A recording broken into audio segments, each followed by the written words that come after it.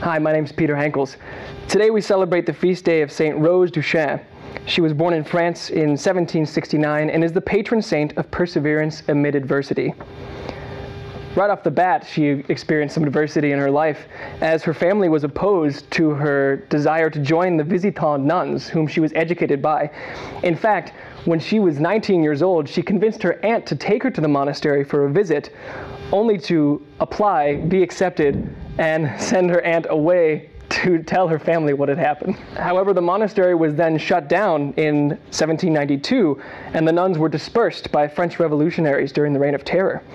It wasn't until 1801 that she was able to attempt to reestablish the Visitants, and even when she did, only three other sisters uh, joined her, and she ended up as Mother Superior at just 32 years old.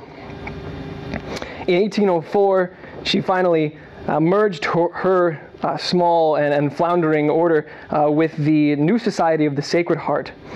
At the end of the Napoleonic Wars in 1815, she established a convent of the Sacred Heart in Paris as well as a school. And so all this time she persevered, pursued her, pursued her vocation um, despite all the turmoil in her own country and in the church. And because of her perseverance, she went on to establish the first convent of the Society of the Sacred Heart outside of France in St. Charles, Missouri, as well as the first free school west of the Mississippi, ministering and evangelizing the Native American and French children.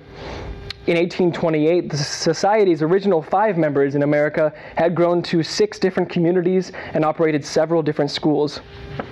She died on November 18th in 1852 at St. Charles after 34 years of service and prayer for the Native American and settling people. She was beatified by Pope Pius XII in 1940 and then canonized by St. Pope John Paul II in 1988. I think we can all agree that uh, our own church and our country are in need of a lot of prayers uh, and perseverance in this time. And so uh, let us ask St. Rose for her intercession, to intercede for us um, to Jesus Christ, to give us the faith, hope, and fortitude we need uh, to make it through whatever trials we are experiencing